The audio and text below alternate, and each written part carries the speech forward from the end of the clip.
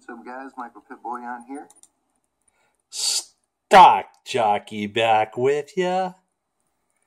Got a little unboxing here today from my good buddy, Michael Pit Bullion.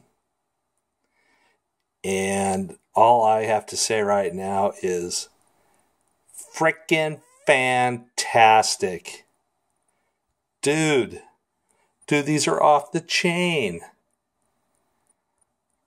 I got five of Michael's new one ounce numbered pit bullion rounds and antique and these are these are off the chain. He gave me five consecutive numbered rounds because i asked him uh, you know as far as what he had numbers wise and he uh, came up with these and i'm just like i'm just stoked and the packaging brilliant packaging is awesome and Got some nice swag, nice pit Bullion sticker, huh? And there's Michael's card. Of course, if you want to go ahead and uh, contact Michael for any of your needs, be it poured silver, gold plating, antique finishing, there's the number, folks. There's his email. There's his website. And let's take a look. Let's take a look at one of these these bad boys. Let's take a look at one of these close up. I'll tell you what, Michael, that is freaking awesome. That is awesome.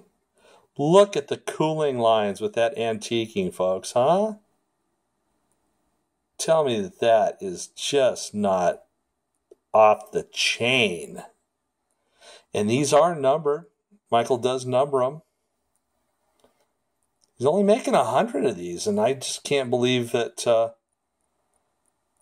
people don't see the potential to go ahead and jump on a few of these. This one's number 14. And there's the back. One troy ounce. 999 fine silver. Just just too fantastic. Great job michael. Great great job. I'm really digging these and i'm glad i picked up a few. And uh, i think other people should pick up some too i mean you know yeah there's a little bit of a premium but my god you know you got to pay people for the work they do I mean, I wouldn't. I'm not going to sit here and make uh, silver rounds and give them away at spot. Come on, pay the people for the work they do. Quality, quality product. Thank you again, Michael. I'm just, I'm just totally stoked. I know these are Mr. Rocky approved.